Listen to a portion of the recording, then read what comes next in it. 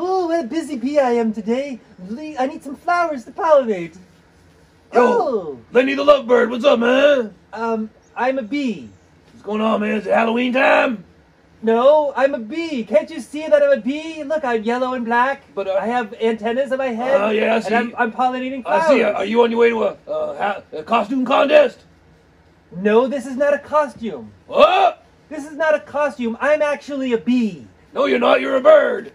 Listen to me, DB. I was born in the body of a bird, but really I'm a bee. Hmm. But now I'm taking back my identity as a bee by wearing a bee outfit. Okay. So I would pre- appreciate it if you referred to me as a bee. All right. But you're a bird, though. No, I just explained to you that I'm a bee.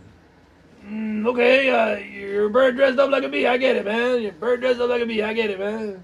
No, you don't understand. I do understand. I'm gonna have to educate you. I do am understand. a bee. You are a I bird. I was born in the body of a bird, but I'm a bee. You're a bird. You're very beophobic. Well, you know what?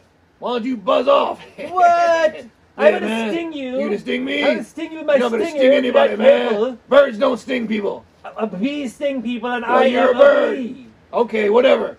All right, bee. You're a bee. you. All right, Thank you're a you. That's bee. right. Okay, why don't you buzz off, bee?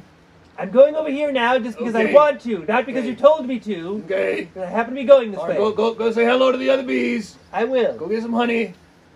Please give my regards to the queen bee. All right, man. Bye bye, bee.